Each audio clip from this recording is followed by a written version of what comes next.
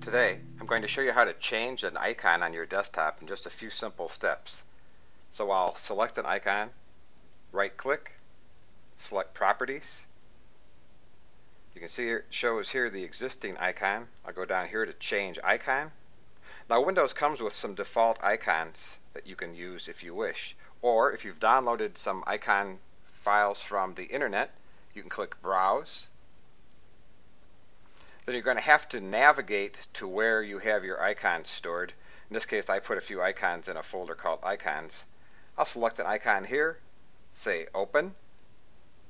Now you can see it shows you the icon in the box. Click OK.